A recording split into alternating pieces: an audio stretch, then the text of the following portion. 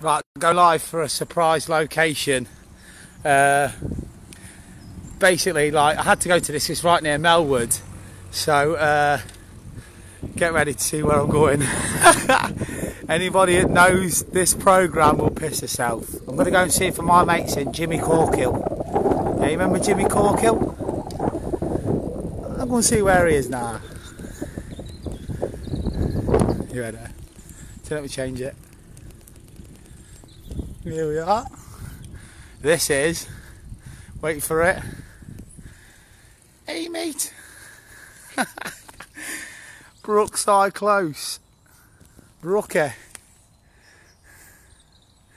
This is where Brookside was. Uh... Hello, Joey. You alright, son? Yeah, so that was it. Just thought I'd have a little nip round. I'll go around one more time actually. they must hate people coming down for this. Ready? Just a little one more look, one more little lap. Of the famous Brookie. Jimmy mate, where's Jimmy Corky? Oh,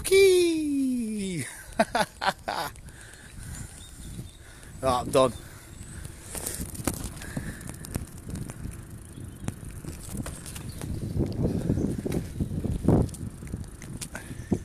Right, I'm done for the day. That's Melwood done and Brookside Close done. So I'm going to go home and rest before I'm working tonight for AFC Liverpool. Come on, you Reds. See you later.